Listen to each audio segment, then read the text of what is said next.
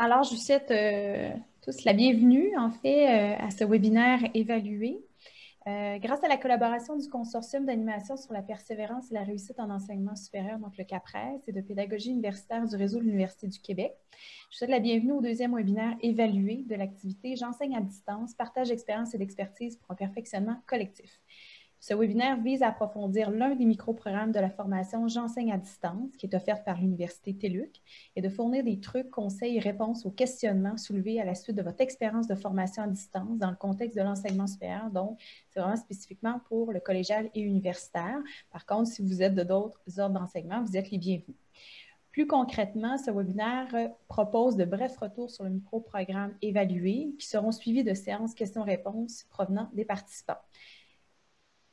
Comme nous sommes en mode webinaire, il est normal que votre micro, votre caméra soit désactivée. Nous vous invitons alors à utiliser l'outil QR, questions-réponses, ou si vous avez le mode Zoom en anglais, QA pour Question Answer, et le clavardage pour poser vos questions aux conférenciers. Donc, c'est de cette manière-là que vous allez pouvoir vous adresser aux conférenciers et on vous euh, invite fortement à faire appel à ces outils pour euh, rendre le webinaire beaucoup plus dynamique. Sachez que le webinaire sera enregistré. L'enregistrement sera rendu disponible, comme le document de présentation, sur le site de pédagogie universitaire. En temps venu, vous recevrez un courriel pour vous en aviser. Je présente donc nos conférenciers. D'abord, Serge Gérin-Lajoie est professeur à l'Université TELUC à titre de professeur spécialiste en formation à distance, en formation en ligne depuis 2017. Il est détenteur d'un doctorat en technologie éducative réalisé à l'Université Laval ainsi que d'une maîtrise en formation à distance et un diplôme d'études supérieures spécialisées en technologie de l'information et environnement d'apprentissage décerné par l'Université TELUC. Il détient également un baccalauréat en enseignement des sciences au secondaire de l'Université du Québec à Trois-Rivières et un diplôme d'études supérieures en musique du Conservatoire de musique de Trois-Rivières. Avant son embauche à titre de professeur, il a agi à titre de conseiller pédagogique spécialisé en formation à distance à l'Université Laval et a œuvré dans plus d'une cinquantaine de cours à distance ainsi que dans quelques programmes complets mis en ligne. De plus, il a acquis une solide expérience pratique en lien avec le développement professionnel du personnel enseignant au niveau universitaire, plus particulièrement dans l'accompagnement d'enseignants et de direction universitaire dans la mise en place d'activités de formation à distance et ce, dans différents domaines disciplinaires. Donc, euh, bonjour Serge. Merci Karine. C'est drôle, à toutes les fois que j'entends quelque chose de ce genre-là, on dirait que j'ai 70 ans.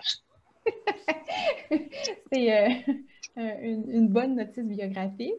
Alors, je présente maintenant Jean-Marc Nolan, qui est conseiller pédagogique à la recherche au Centre de transfert technologique en écologie industrielle au Cégep de Sorel-Tracy. Il est chargé de cours à l'Université de Sherbrooke et à l'Université du Québec à Trois-Rivières. Il est titulaire d'un doctorat en éducation. Sa thèse a porté sur l'adaptation des professeurs universitaires aux changements entraînés par les technologies numériques dans l'évaluation des apprentissages en formation à distance. Jean-Marc Nola a également travaillé pendant cinq ans comme assistant de recherche dans les projets portant sur l'évaluation des apprentissages, incluant les technologies en formation à distance. Jean-Marc Nola est titulaire d'une maîtrise en philosophie politique. Il a été enseignant de philosophie pendant huit ans, soit de 2005 à 2013. Alors, bonjour et bienvenue Jean-Marc. Bonjour tout le monde. Oui. Et enfin, Marie-Christine Joseph est chargée de cours pour le réseau des répondantes et répondantiques, le REPTIC, depuis février 2020. Avant son embauche à titre de chargée de projet, elle a agi à titre de conseillère pédagogique au collégial dans différents collèges pendant neuf ans et a enseigné au collégial en littérature et au secondaire en français pendant six ans. Alors, bonjour Marie-Christine. Marie-Christine. Bonjour. Alors, euh, je vous laisse à tous les trois la parole pour ce webinaire et euh, bon, euh, bon webinaire à tous les participants. Merci beaucoup, Karen. Donc, je excusez. Voilà. Donc, voici la proposition qu'on vous fait pour cet après-midi, c'est-à-dire le mot de bienvenue, c'est déjà fait. Euh, et on aura la présentation mutuelle. On aura euh, Jean-Marc qui va nous faire une, présentation d'enrichissement pendant une certaine euh, période de temps. On pourra avoir une période de questions sur cette présentation-là. On a aussi, on va répondre aux questions. désolé, le son est taché. On aura aussi une période de questions, des réponses aux questions qui nous ont été posées à l'avance parce que ça faisait partie des des consignes pour la réalisation de ce webinaire-là. On aura aussi des, on va prendre un moment vers 13h20 répondre aux questions du moment, donc celles qui auront émergé en lien avec l'évaluation. Euh, nous aurons aussi quelques exemples. Je vais vous présenter quelques exemples d'évaluation à distance pour aller un petit peu plus loin. Puis, quand, si le temps nous est, euh, est, disponible, on va pouvoir aussi euh, poser d'autres questions. Vous allez pouvoir poser d'autres questions là, en lien avec ce qui aurait été présenté ou en lien avec la formation, le, le micro-programme J'enseigne à distance évalué, la section sur l'évaluation. Donc, voilà ce qu'on vous propose.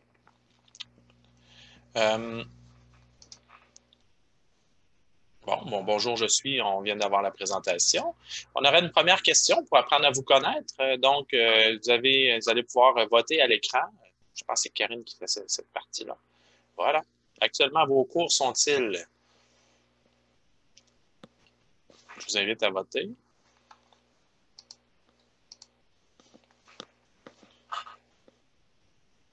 Sûr que si vous êtes au Québec et que vous êtes dans une zone rouge, vous êtes pas mal rendu à des cours à distance, mais bon, est-ce qu'on a les, résultats?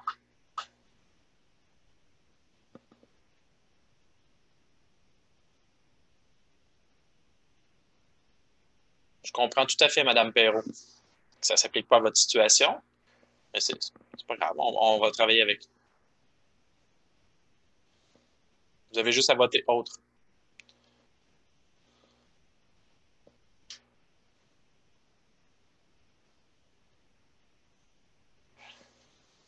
Karine, les résultats? Oups. OK. Donc, on a, on a quand même une bonne proportion. On a quand même une bonne proportion d'étudiants, de cours qui sont euh, d'enseignants ou des gens qui ont des cours à distance ou des cours hybrides. Donc, on est dans la modalité où est-ce qu'on alterne entre la, distance et la, présence. Et on a quand même aussi des gens qui sont là pour en, connaître plus qui ne sont pas responsables de cours. Merci bien. Une autre question. Pour ceux qui font des cours synchrones ou même ceux qui font des cours hybrides, la partie à distance.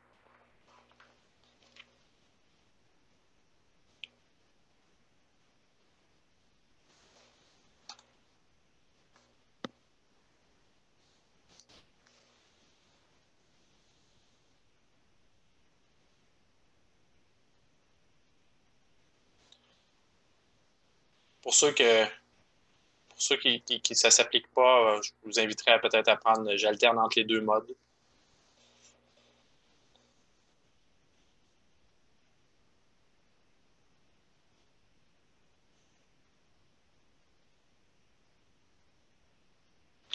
On va voir le résultat. On va sortir la boule numéro 3 avec le boulier. Là. On va montrer la, Donc, on a une bonne proportion de gens qui alternent entre les deux modes et on a des gens, s'ils ont juste un mode, c'est le synchrone qui prime.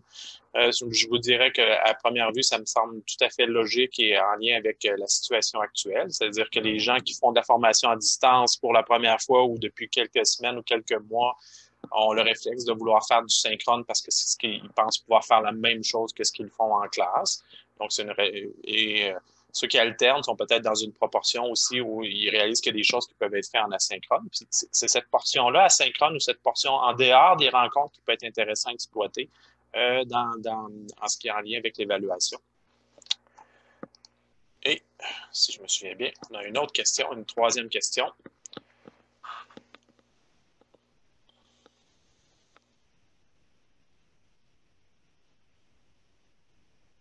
C'est la question du risque, la gestion du risque.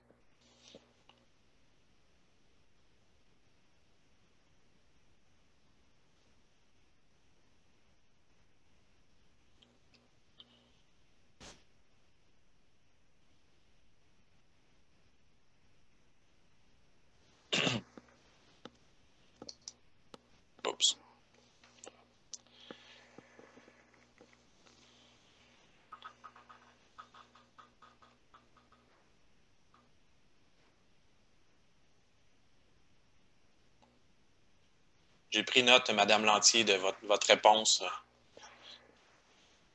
Je vais poursuivre mon travail d'adaptation euh, jusqu'à la fin de la session. Donc, euh, euh,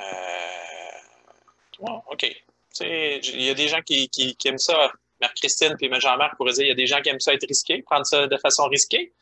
Euh, mais bon, voilà, c'est euh, peut-être pas la meilleure façon de faire, mais euh, surtout en formation à distance, puis c'est très épuisant. Mais bon, voilà, c'est la réalité présentement et il y a des choses qui vont se mettre en place pour la suite. Oh, il en restait une autre. On voulait vérifier si vous aviez bien lu les consignes.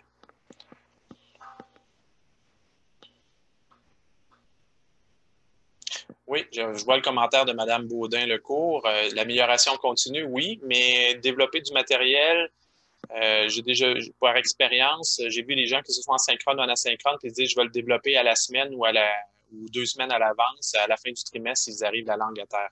Euh, et, puis ils sont obligés de laisser tomber tout le reste aussi, même si c'est des cours synchrones.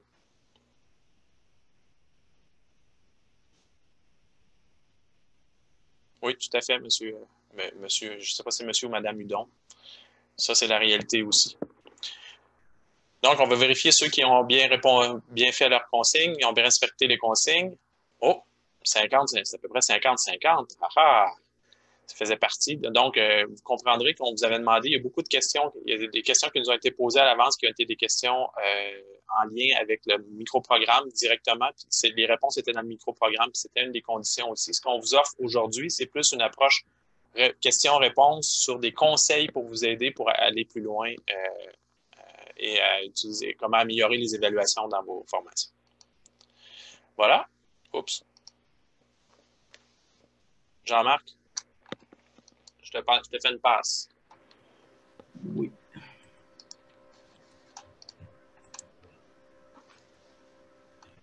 Je vais juste, je vais juste mettre ma présentation en mode que vous la voyez bien? Euh, oui, pour moi, ça va. OK.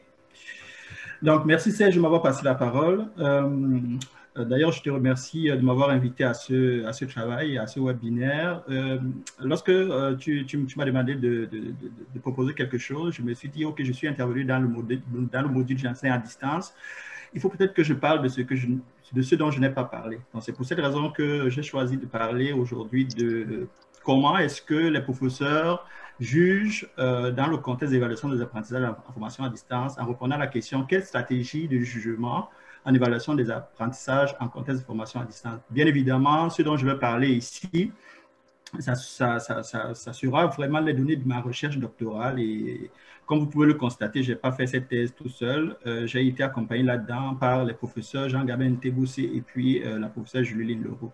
Une autre petite précision, c'est que lorsque je parle des stratégies de jugement euh, dans le contexte d'évaluation des apprentissages en formation à distance, la formation à distance, pour moi ici, il s'agit vraiment des dispositifs hybrides.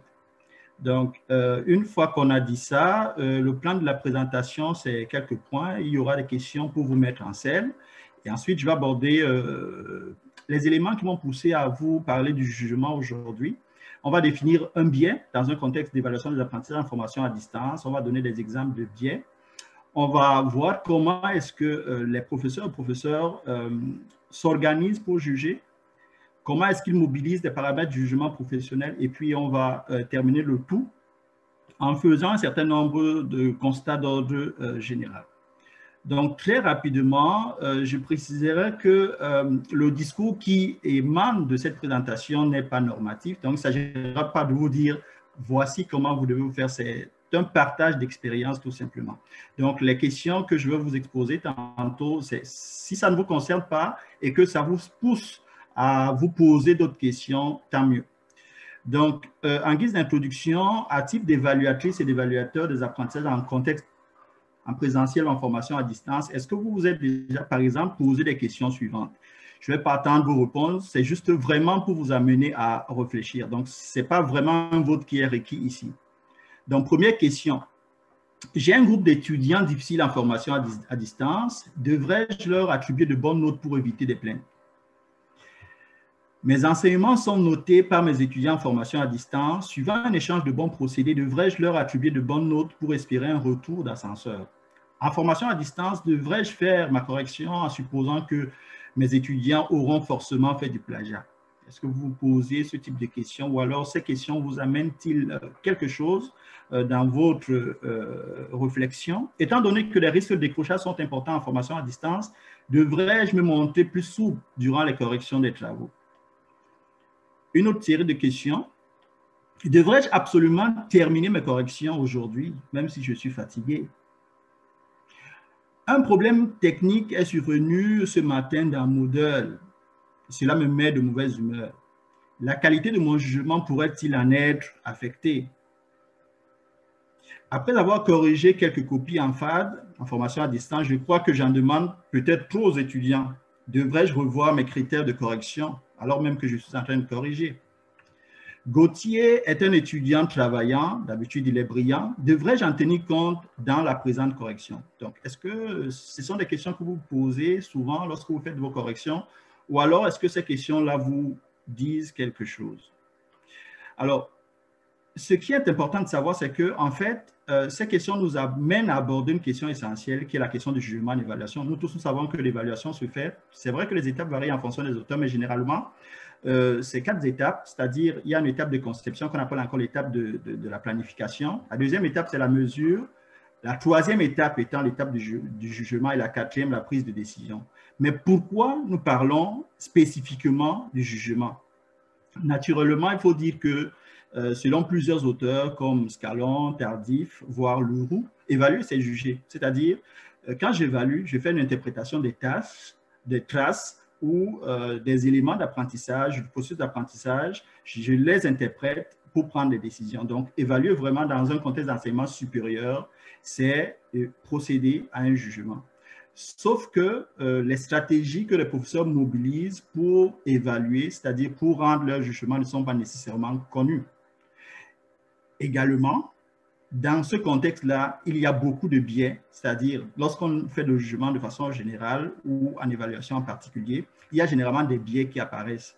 Dans un contexte spécifique comme celui, par exemple, d'intégration du numérique et dans un contexte de formation à distance, ces biais-là peuvent également muter par un certain nombre d'éléments qu'on va appeler ici la fatigue euh, visuelle, la surcharge cognitive, le sentiment d'isolement ou le sentiment de, la, dissolution du collectif, parce que généralement, en formation à distance, on est seul. Euh, il y a également la distraction qui peut intervenir, qui peut euh, également amener à repenser ces biais qui apparaissent lorsqu'on rend son jugement dans un contexte d'évaluation des apprentissages en formation à distance. Mais il peut être intéressant de savoir d'abord ce que c'est qu'un biais dans l'évaluation en général et en formation à distance en particulier. Donc, très rapidement, euh, généralement, les auteurs vont vous dire que évaluer, c'est comme un processus de recherche. C'est chercher à comprendre une réalité. Et euh, le mot que moi j'ai trouvé ici euh, pour désigner ce que c'est qu'un biais, c'est dire qu'un biais peut être considéré comme un obstacle épistémologique. Ça, veut dire quoi exactement? Ça veut dire que c'est une distorsion dans l'interprétation des traces que je recueille pendant mes observations. C'est aussi une déviation. C'est-à-dire, lorsque nous évaluons, par exemple, ce que nous devons documenter sont les savoirs ou les savoir-faire. Mais ce qui se passe le plus souvent, c'est que on documente plutôt la personne. Donc, on évalue la personne au lieu d'évaluer les savoirs ou les savoir-faire. Naturellement, lorsqu'il y a les biais, il y a une coloration du jugement et cela a des conséquences qui sont vraiment importantes parce que la coloration du jugement entraîne une coloration des résultats et si euh, les résultats sont colorés, ça entraîne nécessairement euh, le basculement vers l'arbitraire, ça entraîne des injustices et de la frustration. Donc, il faut vraiment faire attention à cette étape du jugement parce que ceci a des conséquences euh, sur l'étudiant. Bon, quels sont les exemples de biais que l'on rencontre dans un contexte de formation à distance, par exemple? Regardons d'abord ce qu'on rencontre comme biais en présentiel. Par exemple, lorsque vous corrigez la copie, il peut arriver que vous soyez euh, sévère de façon variable. C'est-à-dire, on parle de l'effet de l'ordre. Euh, il peut aussi arriver que lorsque vous faites euh, des, évaluations, que le style ou la personnalité de l'étudiant influence votre jugement. On appelle ça l'effet halo. Il peut également arriver que des critères mutent ou changent. On appelle ça l'effet des critères émergents. Naturellement, lorsqu'on corrige les, évaluations, surtout en contexte de grands groupes, on peut être fatigué et l'attention n'est pas toujours soutenue. C'est l'effet de fatigue. Il y a également que lorsqu'on évalue, on a ses valeurs personnelles. Il y en a qui ont une conception élitiste de, la réussite.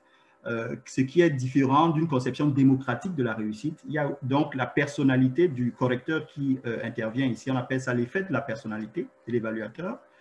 Il y a que parfois vous tenez compte du passif de l'étudiant, c'est-à-dire de son histoire. Quelles sont les notes qu'il a eues dans d'autres disciplines? On appelle ça l'effet de contamination.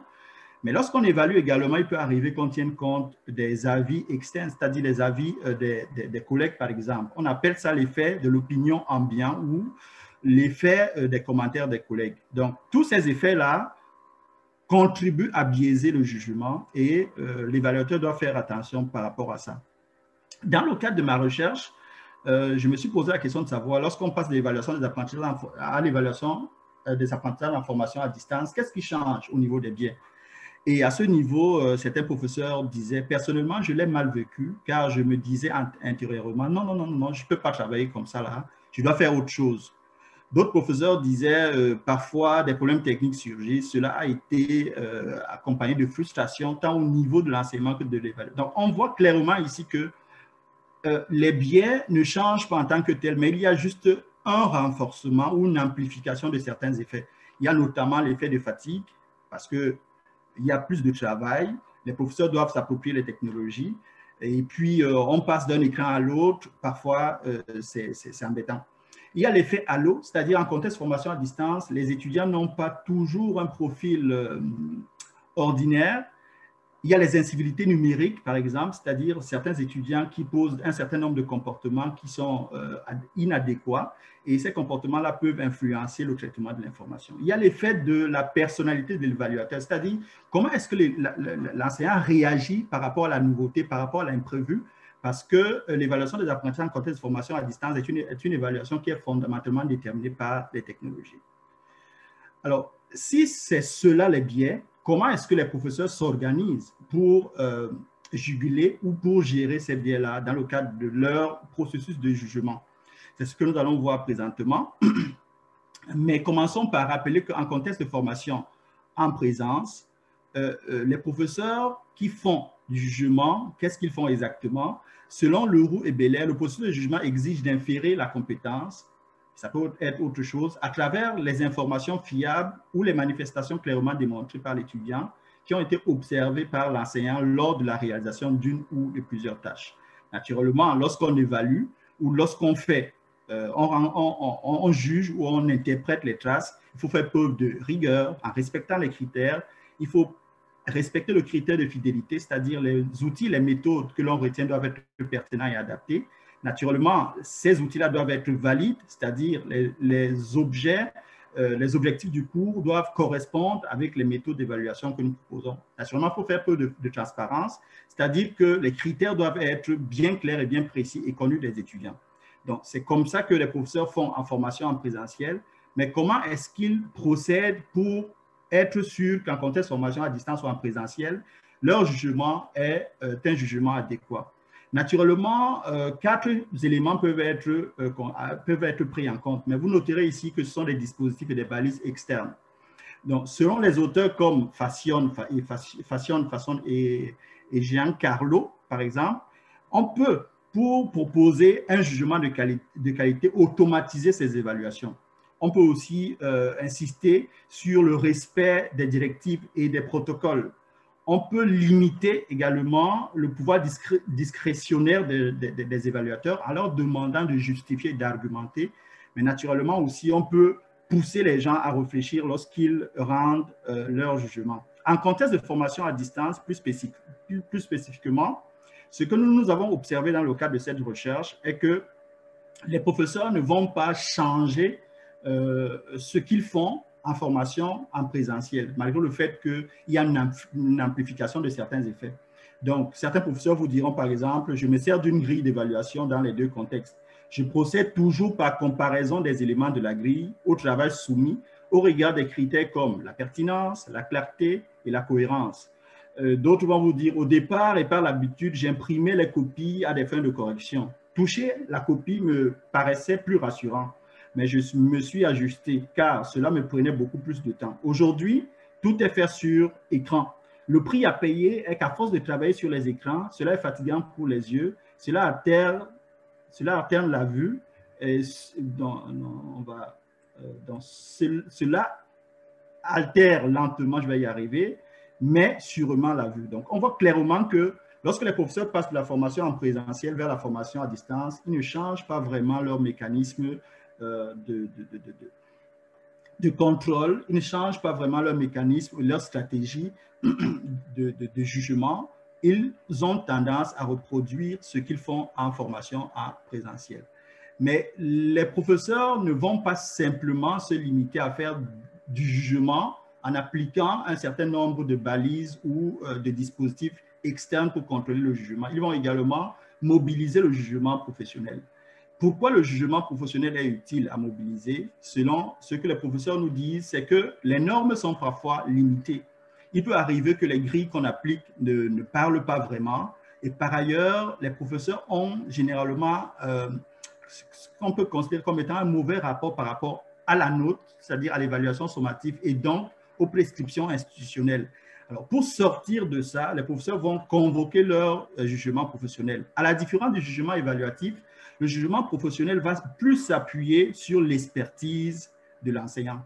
Mais qu'est-ce que cela implique précisément dans un contexte de formation à distance? Quand on dit on s'appuie sur l'expertise ou sur l'expérience de l'enseignant, à ce niveau, il faut peut-être noter que le jugement professionnel, contrairement au jugement évaluatif, va plus convoquer des éléments internes, en fait, à la personne. Et ces éléments internes, c'est ce que moi j'appelle l'équation intellectuelle de l'évaluateur, qui s'appuie sur la logique, c'est-à-dire lorsque vous avez euh, un travail devant vous, euh, le professeur va enclencher un certain nombre de processus cognitifs qui vont lui permettre de mieux comprendre, de mieux rendre sa décision. Il y a aussi des éléments psychologiques, c'est dans la mesure où un professeur de philosophie, par exemple, euh, ne va pas regarder les mêmes aspects qu'un professeur de physique ou de mathématiques. Il y a aussi des éléments euh, qui sont d'ordre de la, de la moralité, c'est-à-dire le professeur, pour bien rendre sa décision et bien juger un travail, il va toujours se poser la question de, de, de savoir quel est l'intérêt de l'étudiant ici. Et naturellement, en considérant l'intérêt de l'étudiant, on va toujours se demander est-ce qu'il faut que je sois véridique ou bienveillant, par exemple? Mais spécifiquement au contexte de la formation à distance, l'équation intellectuelle qui est mobilisée par les évaluateurs est surtout mobilisée pour répondre, par exemple, aux préjugés que les professeurs peuvent développer par rapport aux technologies, pour bien gérer la multiplicité des ressources, pour bien gérer le temps et pour répondre, par exemple, aux déficiences techniques qui peuvent entacher le processus de jugement des professeurs lorsqu'ils font des évaluations. Une fois que nous avons dit ça, il est maintenant temps de faire un certain nombre de constats en répondant à la question qui a retenu notre attention dans le cadre de cette présentation, à savoir quelles sont les stratégies de jugement des professeurs. Euh, dans le cadre de ma thèse, ce qui se dégage vraiment, c'est que euh, les professeurs font des combinaisons ils font des combinaisons entre ce qu'on peut considérer comme étant le jugement évaluatif et ce qu'on peut considérer comme étant le jugement professionnel. C'est-à-dire, ils vont utiliser les grilles, ils vont faire l'effort de respecter ces grilles, c'est vrai, mais ils ne vont pas se limiter à ça, c'est-à-dire l'application des grilles, l'application des normes, etc. Ils vont aussi s'appuyer sur leur expertise, sur leur expérience, sur leur propre parcours. Donc, tout ceci est combiné. Mais pour que les professeurs réussissent à la lumière de ce qu'ils nous ont dit, à bien procéder à ces combinaisons, les professeurs vont faire divers apprentissages. Donc, ça, ça vous montre vraiment comment est-ce qu'on s'adapte euh, aussi bien en enseignement qu'en évaluation lorsqu'on passe de la formation en présentiel vers la formation à distance. Ces apprentissages sont d'ordre technologique, ces apprentissages sont d'ordre éthique, ces apprentissages sont d'ordre managérial, euh, ces apprentissages sont d'ordre... Euh, bref, ils font divers apprentissages et ce sont ces apprentissages qui vont, leur, qui vont les amener à minimiser les irritants qui sont suscités par euh, les, technologies, c'est-à-dire les pannes techniques, et à optimiser les possibilités que les technologies leur proposent dans le cadre euh, de l'évaluation. Et quelles sont ces possibilités-là? C'est que, bien évidemment, euh, lorsqu'on regarde bien les choses, les technologies permettent de recueillir beaucoup plus de traces parce que ces traces sont recueillies sur des formats qui sont divers et variés. Et également, ces traces-là sont disponibles. C'est-à-dire que quoi? C'est-à-dire que lorsque vous recueillez ces traces-là, vous pouvez, lorsque vous faites vos évaluations, vous rendre compte que à la maison, le climat n'est pas bon. Donc, allez au parc avec votre, c'est pas moi, votre laptop, etc., avec votre connexion Internet. Vous pouvez continuer à regarder et à interpréter ces traces-là dans un contexte plus, favorable. Donc, la mobilité des traces, ça sont les technologies qui garantissent ça. Naturellement aussi, les technologies permettent de procéder à la combinaison des modalités d'intervention, c'est-à-dire on peut combiner les évaluations formelles aux évaluations informelles pour mieux recueillir les traces qui vont être interprétées et euh, développer les liens, parce que ce sont ces liens-là qu'on développe avec les étudiants qui permettent aux professeurs et professeurs de développer un jugement plus soutenu et plus adapté et qui euh, est également en accord avec aussi bien leurs valeurs qu'avec les valeurs de l'institution. Donc, euh, c'est la fin de ce que j'avais à vous proposer. Vous avez là quelques références et euh, le mot final, c'est que je vous remercie. Merci, euh, Monsieur Nolan. Je me permets une question qui vient d'un participant qui vous demande, pouvez-vous élaborer sur ce que vous nommez l'effet de l'élitisme? Je n'ai pas vraiment parlé de l'effet de l'élitisme. En fait, ce dont je parle, c'est l'effet de la personnalité de l'évaluateur. C'est-à-dire que quoi? C'est-à-dire que en tant qu'évaluateur, on a des valeurs. Euh, les gens ne sont pas les coquilles vides, les gens ont une culture, les gens ont une formation, ils ont des valeurs. Et euh, en fonction de sa culture, en fonction de sa valeur, on peut euh, avoir une vision de la réussite qui veut que ce soit les meilleurs qui réussissent, qui est une vision différente, qui voudrait par exemple que soit tout le monde qui réussisse. Donc, sur ce plan-là, euh, ce n'est pas un secret. Euh, si on dit ici qu'en Europe, par exemple, euh, la culture de l'évaluation n'est pas la même que la culture de l'évaluation qu'on retrouve en Amérique du Nord.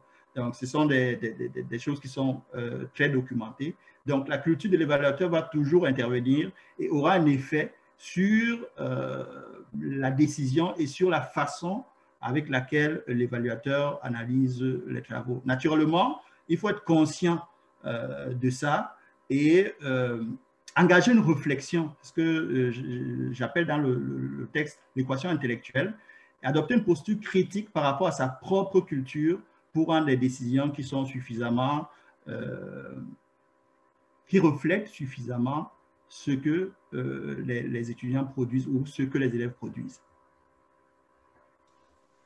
Merci, M. Nola, pour la réponse. Maintenant, je vous pose une seconde question euh, qui, euh, je crois, s'adresse aux trois conférenciers. Donc, n'hésitez pas à répondre euh, de manière conjointe. comment bien naviguer dans l'évaluation en formation à distance avec les directives gouvernementales et institutionnelles qui changent constamment en contexte de pandémie? Une grande question. Est-ce que je peux répondre? Laisse-toi aller, Jean-Marc. OK. Mais déjà, il faut connaître ces directives-là, parce que euh, ce qu'on remarque généralement, c'est que euh, on parle des directives institutionnelles en matière d'évaluation, mais je ne dis pas que c'est le cas de la personne qui pose la question, mais la base, c'est déjà connaître et comprendre ces directives. Il faut commencer par là. La deuxième chose, euh, c'est que le plus souvent, bien évidemment, et c'est soulevé dans les écrits, euh, parfois il arrive que les directives ne soient pas toujours euh, pertinentes par rapport à la pratique évaluative d'un enseignant ou d'une enseignante. Euh, ce qui apparaît à la lumière, par exemple, de la recherche que j'ai effectuée, c'est-à-dire ce que les professeurs font le plus souvent, c'est qu'ils vont toujours adopter une posture critique vis-à-vis -vis, de tout ceci euh, c'est-à-dire vis-à-vis des normes. Euh, la posture critique ne veut pas dire qu'on met les normes de côté, mais la posture critique veut dire qu'on va essayer de s'ajuster euh, lorsqu'on se rend par exemple compte que les, prescriptions ne sont pas cohérentes par rapport à, ce que le professeur ou la professeure sait de ce qu'est l'évaluation par exemple. Naturellement, lorsque ces normes-là évoluent et que ces normes-là changent constamment, Naturellement, euh, je suis tout à fait d'accord avec euh, le point de vue de la participante ou le participant qui euh, souligne le fait que c'est gênant et ça peut être embêtant. Mais il faut naturellement comprendre que même au niveau institutionnel, les gens essayent de s'adapter et que c'est un processus d'essai et d'erreur. L'attitude à adopter, c'est une attitude de collaboration avec l'institution, c'est une attitude d'ouverture, d'ouverture, de bienveillance et de compréhension. Ça, c'est ce que je peux dire à propos de ça. Et Christine?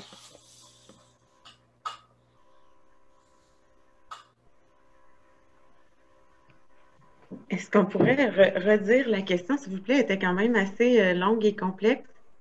Oui, euh, sans souci. Euh, comment bien naviguer dans l'évaluation en formation à distance avec des directives gouvernementales et institutionnelles qui changent constamment en contexte de pandémie? Bon, je pense que ben, personnellement, vu, le, contexte qui est changeant et qu'on ne peut pas vraiment prévoir, hein, depuis quelques mois, euh, on le sait, ça, change presque à toutes les semaines je pense qu'une stratégie, ce serait déjà de, faire le plus qu'on peut euh, à distance, puis de, s'adapter, dans le fond, tant euh, en nos évaluations à distance, puis essayer d'utiliser, dans le fond, le présentiel le moins possible, parce que comme on ne sait jamais qu'est-ce qui peut arriver, au moins, euh, je me dis qu'on, va être prêt à que nos évaluations, on va pouvoir les utiliser puis qu'on n'aura pas nécessairement euh, à, s'adapter à la dernière minute. Serge, je ne sais pas si tu aurais quelque chose d'autre à ajouter. Oui, mais il faudrait voir. je ne sais pas, je sais qu'en enseignement supérieur, les, directives du, ministère, il n'y en a pas vraiment, à ce que je sache. Euh, c'est peut-être plus propre au, au primaire secondaire, à d'autres niveaux. Mais mais il faut toujours pas oublier c'est quoi la nature des évaluations, puis qu'est-ce qu'on veut faire avec les évaluations. Moi, je te dirais ça comme ça. En formation à distance, euh, historiquement, avant la pandémie, les établissements, pour, pour bien s'assurer de la crédibilité des, évaluations dans un cours, essayaient toujours de faire au moins une évaluation sous surveillance. C'est le modèle que l'université avait, le cégep à distance, l'université Laval. Il y avait au moins un examen qui était sous surveillance quel est le pourcentage qui était mis à cet examen-là? C'était libre. Euh, il pouvait y en avoir deux? Dans certains cas, oui, mais actuellement, c'est minimum un. Bon, euh, ça, c'est un contexte en dehors de la pandémie. Et le reste de l'évaluation, c'est combien il y a d'évaluations, euh, c'est combien chacune des évaluations, à quel moment elles arrivent. C'est assez libre, C'est assez libre, mais, ça, c'est des évaluations sommatives formative, je reste toujours curieux d'entendre des fois quelqu'un dit Ouais, mais dans notre établissement, on ne peut pas avoir plus que X de, de formatif.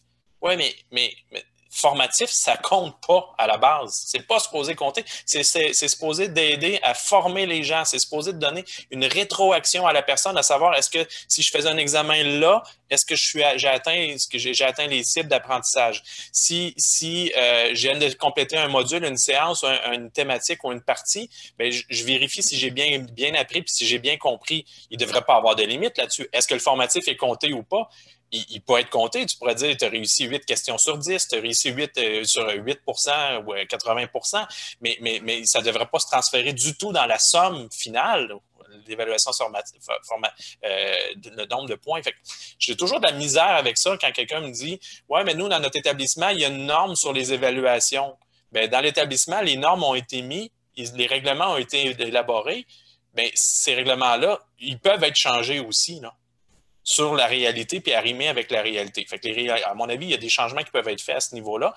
Puis, il faut toujours revenir au fondement, c'est-à-dire pourquoi on évalue.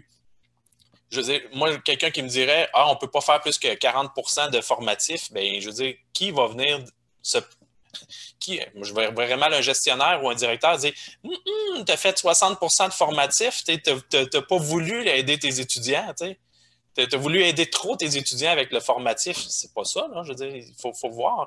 Ou la même chose sur. En tout cas, j'ai bien la misère avec les normes. Moi, je me dis, il faut, revenir au cours, il faut revenir à les différents types d'évaluation, puis dire à quoi ils servent pour aider les étudiants à, cheminer puis à avancer. Puis à terme, et euh, les évaluations serviront à valider s'ils ont bien appris ou pas, ou s'ils ont atteint les cibles d'apprentissage ou pas.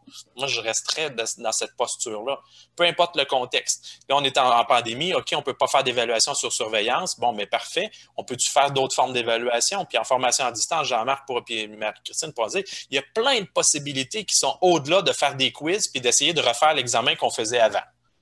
J'avais un examen à la fin, je veux encore un examen à la fin on est obligé? Il n'y a pas d'obligation de l'avoir, cet examen-là. Est-ce qu'on peut faire sous forme de travail? Est-ce qu'on peut donner des choix aux étudiants? Est-ce qu'on peut dire, voici une situation, puis on, vous laisse l'examen, euh, puis on se revoit, dans, vous me revenez avec une solution dans deux semaines ou trois semaines après la fin du cours? Tout ça, ça peut être, ça peut être fait aussi. On peut jouer avec ces paramètres-là. Le carré de sable est beaucoup plus grand que le cadre imposé et la structure habituelle. Il faut juste se donner la permission de le faire puis d'aller plus loin moi, je veux dire, que le contexte change ou pas, on peut faire plein de choses en formation à distance qui vont, qui vont au-delà d'essayer de reproduire ce qu'on faisait traditionnellement. Je dirais ça comme ça. Ah, j'aime, cette, euh, j'aime ton expression, Serge, le carré de sable est plus grand.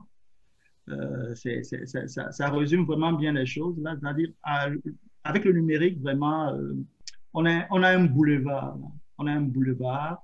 Et puis, moi, ce que je dirais, c'est que le numérique nous ouvre vers d'autres choses, nous ouvre vers l'inconnu. Et la posture qu'il y a adoptée, vraiment, c'est vraiment la posture d'exploration.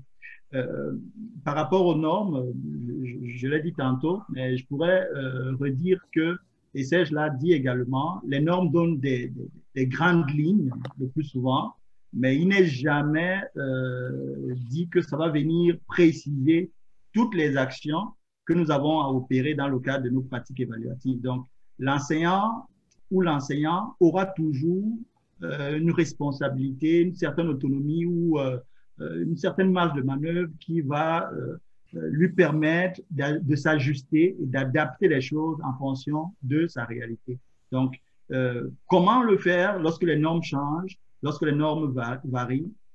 Faisons preuve de jugement professionnel, faisons preuve d'autonomie mettons notre créativité à l'œuvre, impliquons nos, étudiants. Ce que moi j'ai l'habitude de faire le plus souvent, c'est que je viens avec des tâches d'évaluation qui ne sont pas finies, finies, finies, finies, et je co-construis des tâches d'évaluation avec les étudiantes les étudiants. Vous allez être surpris par ce que les étudiants vont vous proposer là et par la richesse de ce qu'ils vont vous, vous proposer. Donc vraiment, faire preuve d'ouverture, faire preuve d'analyse critique et faire preuve d'autonomie professionnelle. Je crois que ce sont des éléments importants dans un contexte de changement et d'évolution accélérée qui est le cadre qui nous concerne en ce moment. Merci. Je vous adresse une autre question euh, à tous les trois. Euh, comment limiter le plagiat dans son évaluation, notamment lorsqu'il n'y aura aucune évaluation sommative?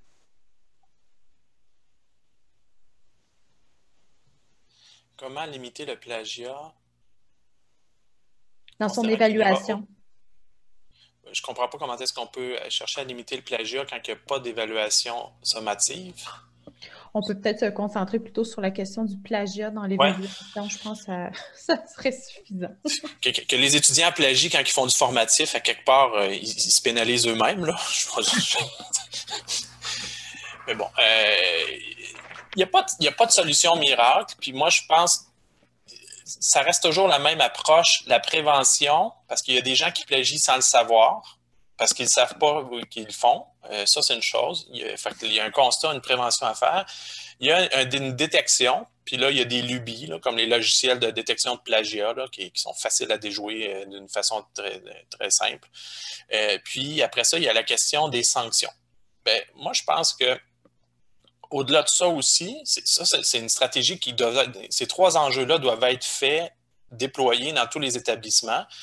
Euh, de façon à sensibiliser les étudiants, leur montrer ce qui est du plagiat, ce qui n'est pas du plagiat, puis de les inviter à pas d'en faire, et ainsi de suite. Puis après ça, la détection, bien, ça prend la job de bras des enseignants pour le détecter. Puis surtout, il y a un, maillon faible qui est de se dire si les enseignants voient des cas de plagiat puis n'amènent pas le dossier vers la sanction ou n'avisent pas les étudiants ou ne vont pas vers l'autre étape qui est la sanction, bien la chaîne, cette chaîne-là est brisée.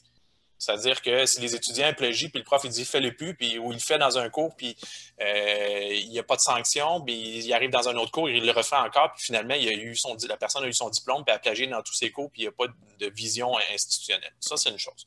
Mais, mais qu'est-ce qui amène les étudiants à plagier? Je sais a le cas du printemps dernier, là, il y a eu l'article dans le Devoir qui a été amené, qui était, qui était intéressant, mais à quelque part, au printemps dernier, dans la situation de COVID, les enseignants étaient obligés de se mettre à faire des évaluations à distance qu'ils n'avaient jamais fait. Ils n'étaient pas prêts pour ça, puis les étudiants n'étaient pas prêts pour ça. Puis oui, là, il y en a probablement eu beaucoup, Mais de façon générale, avant la pandémie, le plagiat, il n'y en avait pas plus à distance. les études montrent qu'il y en, en tout cas, il n'y a pas d'études qui démontrent qu'il y en a plus à distance qu'il y en a en présence. les études, ce qu'elles montrent, c'est que le phénomène du copier-coller est omniprésent. Dans un cas ou dans l'autre, c'est le copier-coller qui est un peu la, problématique. Mais qu'est-ce qui amène qu'est-ce qui amène les étudiants à plagier? C'est souvent, il y a plein de raisons qui les amènent à plagier. Puis une des façons que moi je vois, c'est d'aller vers ce qu'on appelle l'évaluation authentique. C'est s'en aller vers des évaluations où ce que l'étudiant a des choix, puis ces choix correspondent à ses besoins puis ses intentions, puis ça l'amène à, je ne sais pas, je t'offre en te faire un exposé oral ou à faire un travail de 10 pages. Ça peut être juste comme ça, là. Je t'offre en plus le choix de sujet. Tu je t'en propose, tu le choisis là-dedans. Euh, je peux jouer avec euh, le fait de dire voici des sujets imposés, fait que ça devient balisé, c'est les mêmes enjeux pour tout le monde, puis tu travailles avec ça. On peut demander de, segmenter le travail, puis tu nous fais une proposition de structure, tu nous fais, bon, on peut jouer sur le processus aussi, on peut jouer sur est-ce qu'on évalue le produit, le processus ou les perceptions. Et là, l'étudiant se ramasse avec un paquet de décisions, puis un paquet de choix qui, de un, ça va être difficile de trouver des travaux plagiés pour répondre à ça. Puis en plus, on, cherche à aller le rejoindre, lui, dans son évaluation, de faire une évaluation qui correspond à ce qu'il veut, ce qu'il est venu chercher. C'est drôlement plus motivant puis engageant. Fait pourquoi il se plagierait, il, serait incité à plagier si on lui donne des conditions où il, il va s'engager dans son évaluation, puis s'engager dans son cours aussi. Euh, fait qu'il faut, penser comme ça. Moi, je pense que c'est vers ça qu'il faut aller. Moi-même, dans mes cours, on offre des choix, puis on a des cas réels, puis on avance comme ça. Puis les étudiants, ils ne plagient pas. Les cas de plagiat qu'on retrouve, c'est quelqu'un qui a mal cité, puis on, lui dit de le faire comme il faut, puis on, lui fait une évaluation formative, puis on lui dit ne recommence pas dans le prochain, puis c'est réglé. Là, je veux dire, on, on avance comme ça. Fait faut le penser comme ça. Si on s'en va vers de l'authenticité dans l'évaluation et non juste essayer de trouver le meilleur outil possible pour pour faire un examen puis faire un foutu quiz, euh, on, va aller plus loin. Et voilà, ça c'est ma posture. Oui, euh, Serge euh, a, dit, a dit l'essentiel.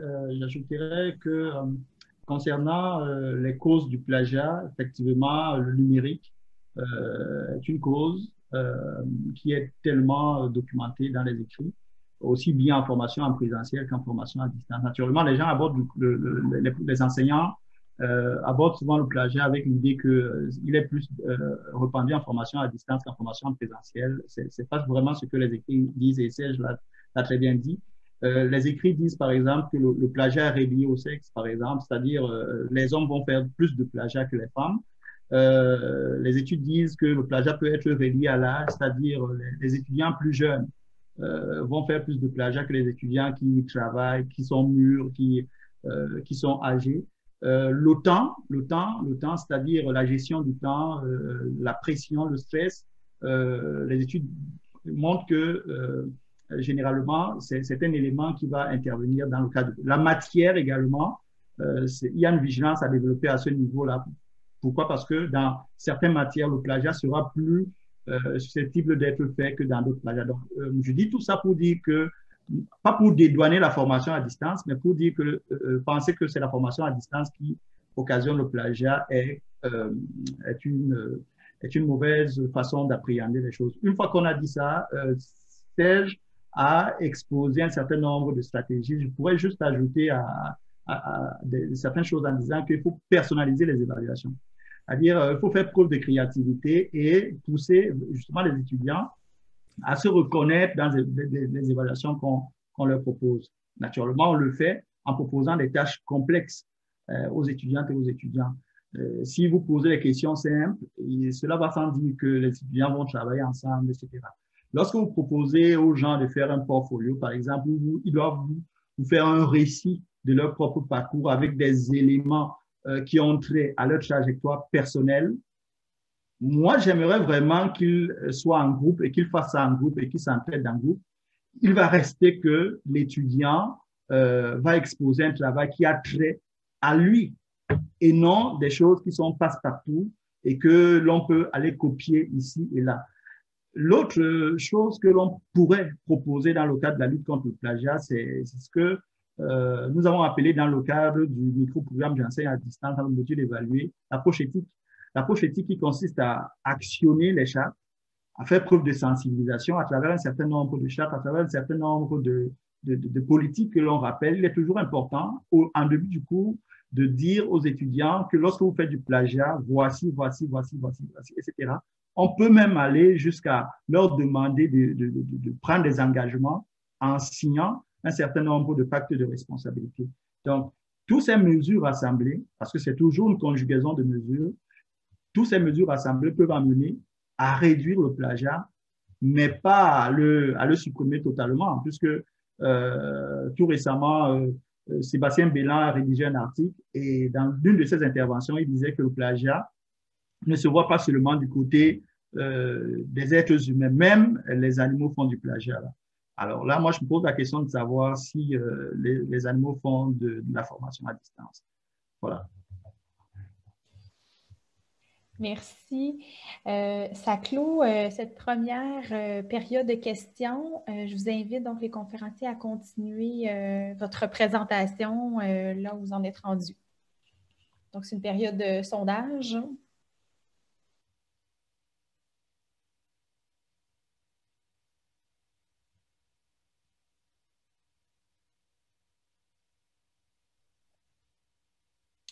Je ne t'entends pas. Excusez, j'avais fermé physiquement mon micro. Euh, je pose la question, euh, un petit sondage. Selon vous, est-ce possible d'évaluer à distance de la même façon qu'en présence?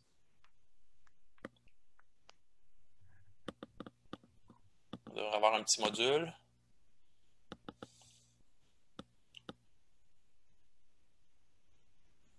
Oups. Tu... On n'a pas, pas, la, la même question. question. bon, c'est pas grave, skip là, c'est pas grave. Pas tu peux la fermer. On va passer à, à, à l'autre partie. Des questions posées à l'avance. Euh, je, je, pense que c'est le même euh, M. Paris qui est, qui est, là. On avait. Oh, excusez. Je vais juste fermer, c'est parce que j'ai trop de fenêtres d'ouvertes. Euh, la fenêtre de, de, conversation, la fenêtre de QER. Et bon, voilà. Peux la reposer, Serge? La question, je lis. Selon vous, est-ce possible d'évaluer à distance de la même façon qu'en présence? Que non, non, non, c'est correct. Non, on va prendre la question qui a été posée par M. Paris. Okay.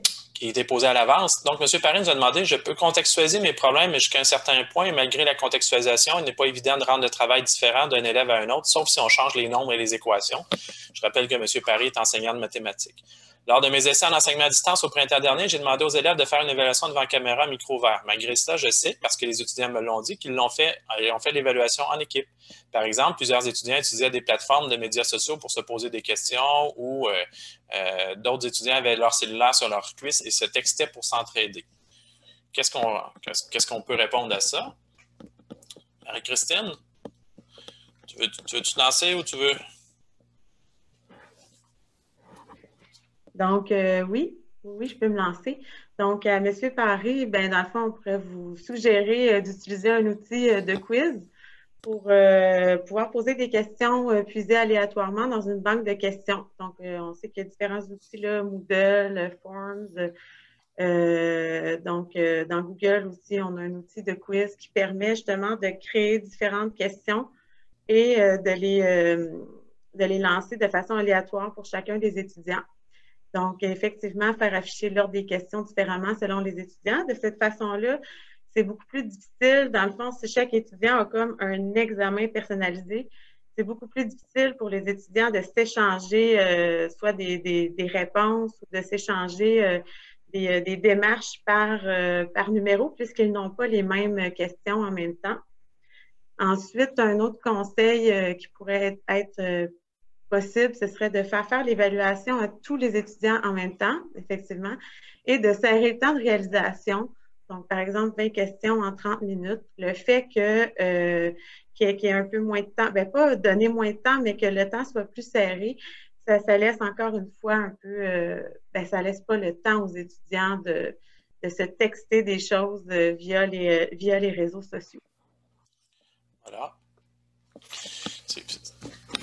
l'idée ici est de, contraindre le, plagiat, mais, limiter les échanges entre les étudiants. C'est une façon, mais, à la base, ça, c'est quand on utilise un outil de quiz. Puis il y a des fois, ça, se prête bien, mais il y a d'autres fois où il faut peut-être avoir envisagé d'autres formes d'évaluation. C'est l'autre question. Puis c'est là qu'on va peut-être chercher un petit peu euh, la question de, de l'authenticité. Oui, M. Paré avait une autre question. Comment évaluer pour la sanction, donc on est dans du sommatif, un travail d'équipe en donnant des notes individuelles? Par exemple, comment faire pour qu'un membre d'équipe qui n'a rien fait ne reçoive pas la note de l'équipe puisque le travail ne représente pas sa compréhension? J'ai essayé l'évaluation par les pairs, mais dans un très grand nombre d'équipes, des étudiants qui s'étaient plaints du manque de travail d'un coéquipier, mais ne souhaitaient pas pénaliser ce coéquipier par une mauvaise évaluation. Donc, la, réponse qu'on peut faire, que, que, je pourrais donner à ce moment-là, il y, a, différentes choses qui peuvent être faites. D'abord, dès le départ, demander aux étudiants de se définir un contrat d'équipe. Donc, qu'est-ce que les étudiants doivent se définir des critères, ce qu'ils attendent des autres. Puis ces critères-là, vous me voyez venir, vont pouvoir servir à évaluer après. Fait qu'au-delà de dire, ah, lui, il fait pas ça, lui, il fait ça, lui, nanana, bien, c'est ça qu'on s'est entendu de faire. Fait que ça devient plus facile, c'est pas, c'est convenu dès le départ on peut même suggérer des libellés, puis il existe plein d'exemples de formulation, puis dire aux étudiants, à la limite, choisissez-vous les, clauses que vous sur lesquelles vous voulez évaluer votre travail, votre contribution au travail d'équipe, donc entre vous, sur cet aspect-là. Et on pourrait même dire qu'on pourrait moduler, c'est-à-dire que la note du travail final pourrait être modulée, je ne sais pas moi, 5, 10, 15, 20, 25% par cette évaluation-là à l'interne entre l'équipe. C'est-à-dire que les étudiants, ils prennent la grille, puis est-ce que lui a fait ça? Il y a un petit peu de mathématiques à faire, il y a un petit peu de, job de bras, mais c'est là que les technologies peuvent être intéressantes parce qu'il y a des plateformes qui permettent de, regrouper les étudiants, puis ils s'évaluent entre eux, puis ça vient, toutes les mathématiques se font, puis les commentaires restent anonymes, puis les notes viennent se moduler, viennent changer la note finale, la pondération de la note finale. Là, ça devient intéressant, comme Jean-Marc a dit, les technologies permettent d'aller plus loin beaucoup plus facilement. Une autre possibilité, c'est de faire des rencontres, une ou des rencontres intérimaires avec les équipes. C'est-à-dire que pendant le travail d'équipe, tu, rencontres les étudiants un petit 15 minutes, 20 minutes, où est-ce que vous en êtes rendu, avec quoi vous c'est quoi vos prochaines étapes, ça permet de voir, puis vérifier si tout le monde participe. on fait une petite séance de, linge sale en famille, est-ce que vous êtes satisfait? Puis on a dit, ben, mettons que moi, Jean-Marc et Marie-Christine, on était ensemble en équipe, je dis, bon, ben, Jean-Marc, euh, là, on va t'évaluer présentement. C'est le prof qui peut animer ça, là, qui peut dire, ben, OK, euh, Marie-Christine, qu'est-ce que tu as à dire? Puis, on va te faire le tour de tout le monde. Bon, ben maintenant, Jean-Marc, tu, nous as montré que tu n'as pas bien travaillé jusqu'à maintenant. Qu'est-ce que tu comptes faire pour euh, résoudre la situation? Comment tu penses faire? Quelles seraient les façons de faire? Puis ensuite de ça, on, ben, on se revoit à la prochaine étape. Mais à la fin, quand il vient faire l'évaluation, c'est pas nouveau pour Jean-Marc qui s'est peut-être fait dire a mal travaillé par les autres. Donc, s'il l'évalue, il n'y a pas le n'y a pas le, sentiment de ouais, mais je vais le pénaliser, puis ça n'attend pas. Là, fait que ça, peut être une façon. Ensuite de ça, l'évaluation par les pairs formative, c'est ça qu'on vient faire. C'est-à-dire que si on fait une séance comme ça, puis on échange sur notre façon qu'on contribue, bien, on, vient, on fait du formatif, puis on lui dit à Jean-Marc présentement, elle ne travaille pas bien, puis on, perçoit qu'il ne travaille pas bien. Fait que c'est une façon de faire qui pourrait permettre de faire. Et l'autre combinaison qui n'est pas affichée à l'écran, c'est aussi rajouter de l'auto-évaluation, c'est-à-dire que si on arrive à la fin du travail d'équipe et on dit à l'étudiant, toi, comment tu considères que tu as contribué à la production ou au travail d'équipe qui a été fait présentement? ça peut être les mêmes clauses du contrat qui a été défini au départ. Puis ça peut venir moduler sur 10, tu te donnerais combien? Est-ce que tu as fait ta part de façon équitable par rapport à ce que les autres ont fait? Et là, les étudiants, ils, tombent dans un jugement vers eux. C'est difficile de se tricher soi-même, à moins d'avoir des, à moins d'avoir des problèmes de conscience, là, mais mais c'est difficile. Effectivement, Même, on peut combiner l'auto-évaluation avec ce que les autres pensent. On, fait les mathématiques qui viennent avec, puis on vient moduler, pondérer la note finale. C'est des possibilités que les technologies nous permettent de faire. Ah, c'est ce que je viens de dire. Pondérer la note individuelle par un facteur d'évaluation par les pairs en utilisant les énoncés du contrôle, l'auto-évaluation. Euh, les, plateformes permettent souvent faire d'assurer la confidentialité. Tu ne sauras pas qu'est-ce que les autres. Tu peux avoir les commentaires des autres, mais tu ne sauras pas qui te donnait combien parce qu'on est quand même des ennemis, des élèves euh, qui continuent par la suite. Euh, et l'autre possibilité, c'est dans une autre évaluation, c'est que, mettons, je ne sais pas, moi, le travail d'équipe est remis, on a une évaluation, euh, un examen ou quelque chose de genre, puis on pose une question en lien avec ce travail d'équipe-là, puis qui va venir pondérer les résultats pour cette question-là, va venir pondérer le travail. Ça veut dire que ça peut être des questions, comment tu trouves ce travail-là, qu'est-ce que tu aurais pu faire de mieux, qu'est-ce qui manquait dans ce travail-là, euh, puis, ça vient, là, c'est une partie individuelle qui vient pondérer. Puis ça peut être aussi une autre solution, c'est de faire des entrevues individuelles. Euh, qui, viendrait euh, commenter. Euh, je vais sauter la question de Mme Rueda parce qu'on l'a posée tout à l'heure, c'est-à-dire des idées pratiques pour prévenir, détecter et sanctionner les cas de plagiat de malhonnêteté. On, est là-dedans depuis tout à l'heure, donc je, me permettrai de poser. puis des actions. Si vous allez voir sur le site J'enseigne à distance, dans l'enseignement supérieur, il y a neuf actions préventives qui sont données. Il y a des exemples d'indices pour la détection. Puis il y a des exemples de sanctions, sont tous donnés dans la formation présente. Euh, Je n'ai pas vu l'heure présentement, excusez. Ça roule, ça roule. Là. Il est 13h30. Moi non plus, je ne vois pas l'heure, donc... Euh... 13h30. Est-ce qu'on peut prendre quelques questions? Euh, peut-être pendant peut-être une dizaine de minutes. Puis ensuite de ça, ben, je ferai une petite présentation de d'autres exemples, si vous êtes d'accord. Donc, quelle serait la, question? Donc, je vous, je vous, la pose à tous les trois, bien sûr. Diminuer le temps pour répondre à X nombre de questions, est-ce que ça n'augmente pas le stress? Et est-ce que ça ne va pas à l'encontre des pratiques inclusives? Oui, mais d'une autre façon, c'est là qu'on peut avoir des formatifs si on a des, tests formatifs, des essais, des, simulations d'examen avant, ça, ça rassure beaucoup les étudiants. C'est là que le formatif devient intéressant avant les sommatifs. C'est-à-dire que c'est des examens pratiquement similaires, puis regarde, c'est le genre de questions qui vont peut-être être posées, euh, ça va être ça. Puis, puis, faire plusieurs tentatives. je veux dire, si on a un examen des formatifs qui, sont, qui vont puiser dans des banques de questions de façon aléatoire et ainsi de suite, l'étudiant peut faire deux, trois, quatre, cinq tentatives, puis euh, je veux dire, diminuer le stress avant de le faire pour vrai. C'est là, ça, vient tout l'accompagnement pour amener les étudiants jusqu'au niveau euh, euh, jusqu'à l'évaluation, tout l'enjeu de la préparation à l'évaluation. Puis ça, c'est la même chose. moi, j'ai toujours des étudiants, est-ce que, est que je suis prêt pour faire l'évaluation ou est-ce que j'ai bien compris? Bien, tu regardes des objectifs spécifiques et tu dis, est-ce que tu es capable de faire ça? Est-ce que tu es capable de faire ça? Est-ce que tu Ah oui, oui, oui, oui, oui. Bon, bien, regarde, tu es prêt, là. Ça, vient avec cette, baisse d'anxiété-là. Évidemment, ces objectifs sont flous, ne sont pas connus. C'est une autre question, c'est un autre aspect. oui. oui, Serge? J'ajouterais qu'à ce niveau, euh, il, il, peut être important de travailler un peu sa posture en tant qu'évaluateur. C'est très important. Euh, les évaluations vont toujours susciter du stress euh, chez les étudiants si l'évaluateur a une posture de contrôle. si on est dans une posture de contrôle, même si on fait des évaluations certificatives ou sommatives, il faut toujours être dans une posture d'accompagnement. Et c'est pour cette raison que euh, et Serge l'a dit, les formatifs sont très, très, très importants parce que ce sont ces formatifs-là qui amènent qui amène l'étudiant à développer ce qu'on pourrait considérer comme étant son capital de confiance et euh, d'être sûr d'effectuer la tâche finale. Donc, euh, en faisant beaucoup d'évaluations formatives, l'étudiant découvre et se découvre et réalise que lorsqu'il va aller à l'évaluation sommative, il est prêt et naturellement, l'enseignant est là pour l'aider à arriver à la réalisation de la tâche finale, non, euh, pour, non pas pour euh, le piéger ou alors euh, s'intéresser à sa personne en tant que telle. Christine?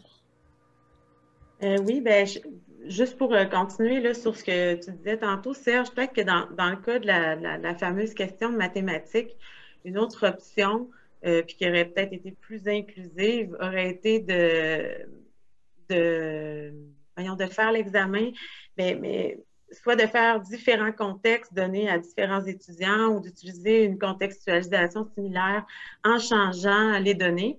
C'est sûr qu'à ce moment-là, ça nous occasionne euh, plus, euh, plus de travail peut-être pour l'enseignant, mais du côté des étudiants, bien, ça permet justement d'avoir moins à restreindre dans le temps ou à justement être une pratique peut-être un peu plus inclusive. C'est tout ce que j'aurais ajouté. Oui, voilà pour, ça. Puis qu'est-ce que il y avait un commentaire qui était euh, dans le temps, la durée de l'évaluation ne fait pas partie du contexte de réalisation. Non, c'est sûr que là, on est dans une optique de quiz, le temps, euh, mais, mais, on pourrait quand même avoir des exercices formatifs qui ont une durée limitée, la, même, la même simulation aussi. on peut faire ça. Mais ça, c'est quand on fait des quiz. Mais c'est pas que ça, l'évaluation à distance. On, peut, on pourra présenter d'autres exemples. J'en ai au moins trois là, que je peux vous présenter sous peu. Euh, il y, a une question que, que j'ai vue. Est-il possible de nommer ce qu'il y a dans le carré de sable ou dans le boulevard? C'est Mme Marie Ménard qui a posé cette question-là. Le carré de sable, il est vaste dans le sens qu'on a beaucoup d'outils qui existent, que ce soit des outils de forum, que ce soit des outils de quiz, des outils de blog, des wikis. Euh, on travaille des envois de documents euh, qui, qui, peuvent être des documents audio, vidéo, texte, euh, des images. ça, c'est des possibilités. On peut jouer dans des évaluations qui jouent dans le temps. Ça peut être très court comme ça peut être très long. Fait que ça, c'est d'autres paramètres. Exemple, euh, si on fait une discussion qui dure une semaine, qui a plusieurs étapes, puis tout le monde fait sa partie. C'est des choses comme ça. Le carré de sable, on peut voir en dehors du temps prévu dans une classe quand on est à distance.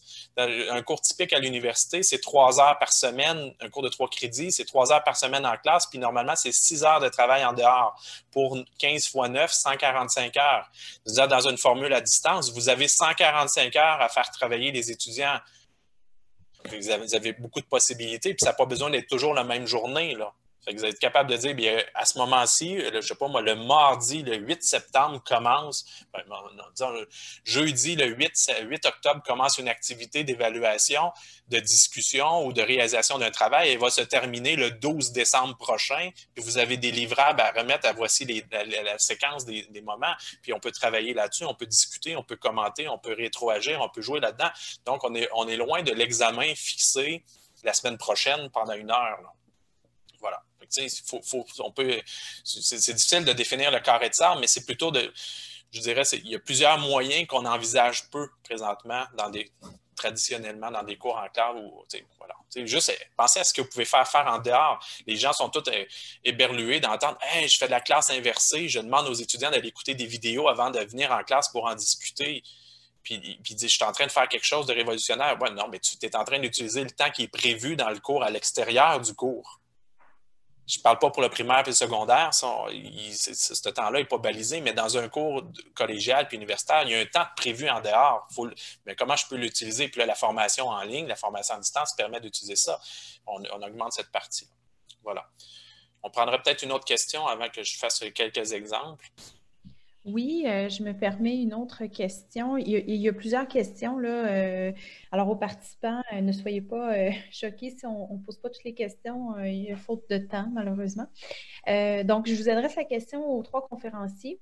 ne devrait-on pas, en contexte de FAD, éviter les questions à réponse courte ou à choix multiples, puisqu'elles sont, entre guillemets, googlables, puisqu'elles facilitent le plagiat et la tricherie, malgré que l'on puisse les présenter en mode aléatoire, etc.? Donc, je pose cette première. Euh, il y avait une question, mais j'irai avec celle-là pour commencer. Marie-Christine, Jean-Marc, j'ai mon opinion, mais je vais vous laisser vous parler avant. Ben oui, effectivement, moi je suis d'accord qu'il faut, euh, de mon point de vue, qu'il faut éviter, euh, c'est justement un conseil que je donnais à mes enseignants quand, quand j'étais conseillère pédagogique, éviter euh, les questions-réponses courtes. Euh, dans le fond, euh, les, les, les, questions plus de type connaissance, plus privilégier ce, ce type d'approche-là quand on est en, en, évaluation formative plutôt qu'en évaluation sommative, puis aller plus vers ce qui est dit là, dans la question, dans le fond, vers des, des niveaux taxonomiques plus élevés là, qui demandent analyse, métacognition, évaluer, euh, parce que justement, c'est ce qui nous permet de personnaliser euh, l'évaluation le plus possible. Donc, euh, comme ce qui a été dit précédemment, de, limiter le plagiat et la tricherie, plus l'évaluation est personnalisée par rapport à l'étudiant, ben, moins il va avoir de risque de plagiat. Je vais te laisser compléter. Oui, oui, mais je suis, parfaitement d'accord avec toi. Euh, Marie-Christine, tu, euh, as dit l'essentiel.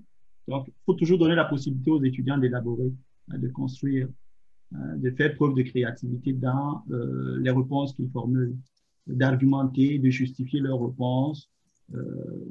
et c'est à travers ça qu'on peut, j'ai vu tantôt dans le chat, on nous parlait de documenter le processus, ne pas simplement se contenter des produits effectivement, euh, il faut également euh, nouer les liens avec les étudiants. Ça, c'est très important.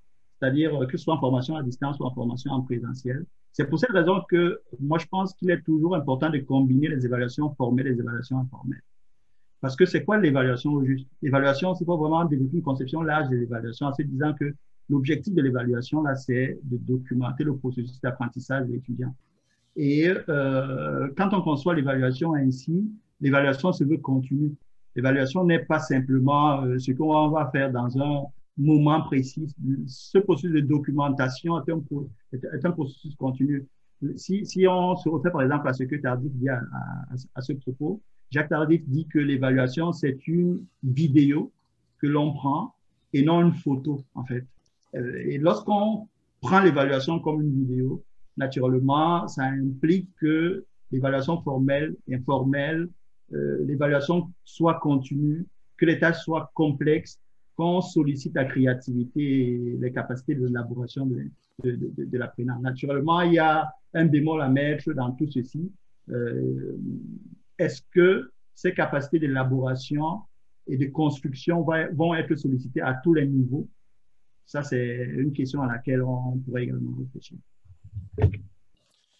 Je aussi, les types de questions sont beaucoup liés, puis les types d'évaluation sont beaucoup liés euh, à ce qu'on veut vérifier. Si on est dans les connaître, les premiers niveaux de, de Bloom, le connaître et comprendre, là, on est dans des questions vraies ou faux, puis des, des choix multiples. Mais si on va aller vérifier l'évaluation, l'analyse, la, la compréhension, ça prend d'autres types de questions, à moins de décortiquer ces compréhensions-là en, de multiples sous-questions, puis là, ça devient beaucoup plus, beaucoup, à mon avis, beaucoup plus complexe de construire les, les, les outils d'évaluation on, devrait, aller vers des, questions à, développement court ou à développement long ou des réalisations de projets authentiques pour vérifier ces choses-là. Puis là, on développe des critères de correction puis des grilles de correction qui vont être beaucoup plus utiles. Mais il y a comme un paradoxe parce que les, les enseignants, je vais le dire comme ça, ils veulent bien, mais en même temps, ils ne veulent pas se rajouter de charge de travail d'évaluation. C'est ça l'autre enjeu aussi, puis on ne se le cachera pas. Là. Je veux dire, à l'université, c'est flagrant, les profs, ils, vont faire ce qu'on leur demande de faire ou ils vont faire le minimum en fonction des règles, des conventions ou des, politiques, mais, mais ils, sont, ils voient ça comme étant un fardeau à, ajouter. Alors que s'ils font un, transforment vers l'évaluation pour l'apprentissage, ils vont peut-être le segmenter, ça va peut-être revenir plus fréquemment, mais d'un autre côté, euh, ils vont être capables d'aller beaucoup plus loin, puis vérifier beaucoup plus loin, puis la satisfaction des étudiants va être là aussi. Je dis, il y a beaucoup de travaux d'équipe. Je vais donner un exemple. Il y a beaucoup de travaux d'équipe. Les travaux sont transformés en travaux d'équipe. Pourquoi? Ben, si je fais des équipes de quatre, ben, je divise par quatre ma charge de correction. c'est ça la logique qui est derrière. C'est pas genre je veux que les étudiants apprennent à travailler en équipe. Ah oui, on peut bien mettre ça, mais c'est même pas des objectifs généraux, hein, puis on montre pas aux étudiants comment travailler en équipe, mais vous faites le travail en équipe. Je, viens de diviser ma charge de correction d'une certaine façon. Fait là, ça, c'est l'autre affaire. C'est comme l'éléphant dans, le, magasin de porcelaine, qu'on dit jamais ou à peu près pas. Puis les profs, ils diront pas ça à ses collègues. Hey, moi, j'ai regroupe tout en équipe de quatre. Ce travail-là, je me sauve du travail, je me sauve de l'évaluation. Ils disent pas ça. Ils ne diront pas. Mais il faut, voir ça comme étant la, question des, choix de questions. Puis, ah, ben si je ne fais pas ça, je vais choisir des questions à choix multiples. Ça se corrige tout seul. Puis, là, ça va s'automatiser. Puis là, les numériques vont tout automatiser ça. Oui, mais ils ne vérifient pas ce qu'ils est supposé de vérifier. Il y, a comme il y a comme une adéquation à faire, puis une cohérence à aller chercher là. Fait que oui, en ayant des questions plus complexes, plus complètes, qui demandent un peu plus de développement, oui, ça demande plus de correction, mais ça permet de bien vérifier, puis ça permet de diminuer aussi une partie les, risques de plagiat. Euh, je me permettrais, là, je vois qu'il y a plein de questions, puis ça n'arrête pas de défiler en plus. C'est hyper intéressant ce qui se passe dans le chat, mais je vais me permettre quand même de montrer quelques exemples parce qu'il y a eu des questions qui étaient en lien avec ça. Euh, je vous présente euh, celle-là, elle revient souvent depuis un bout de temps, c'est celle qui c'est l'évaluation du laboratoire. Mais dans un contexte de formation à distance, c'est sûr que actuellement, le ministre la ministre a dit ben on va faire une exception, les gens vont pouvoir venir faire les laboratoires, c'est plus facile. mais, si on ne pouvait pas le faire, qu'est-ce qu'on peut faire? Un exemple, ça pourrait être de demander aux étudiants de planifier le laboratoire comme on leur demande de faire, d'arriver préparé. Puis ensuite de, ça, de demander à un technicien ou un auxiliaire ou l'enseignant lui-même de réaliser un enregistrement de la réalisation du laboratoire prévu par les étudiants. Donc, je suis ton protocole que vous avez demandé de faire, je vais le faire, puis je vais te donner les résultats. Puis je peux te faire une rétroaction. Ça ici, ben non, ça, c'est pas complet. Ça, il manque, il y a des ajustements. As-tu pensé, avez-vous pensé à? Puis là, vous allez vous rendre compte que des fois, il y a des commentaires puis de la rétroaction qui, qui n'est pas tout le temps fait en classe et qui peut s'appliquer à plusieurs personnes.